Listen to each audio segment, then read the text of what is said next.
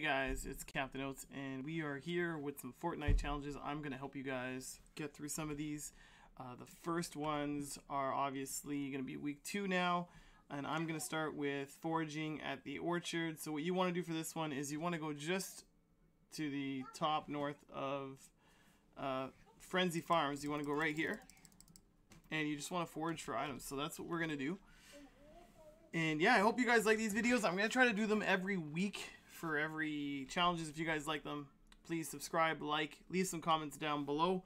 And also, if you want to support me and the channel directly, uh, you can either subscribe to us over on Twitch. On All right, so here we go, guys. We're almost at the orchard. We are going to forage for items here and try to get it done. Lots of people are already coming here, as you can see.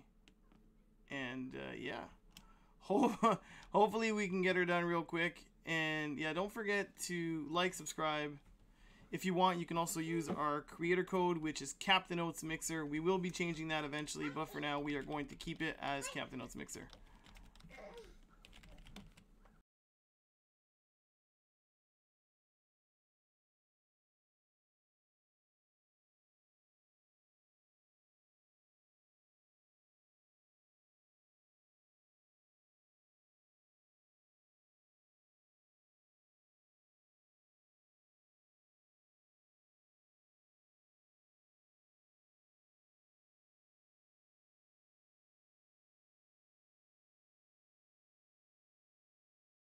Alright, so there you guys have it. I had to go a little bit north of where the apple trees were. Uh, as you guys saw, I was trying to break down the apple trees. I couldn't get it. There was nothing there.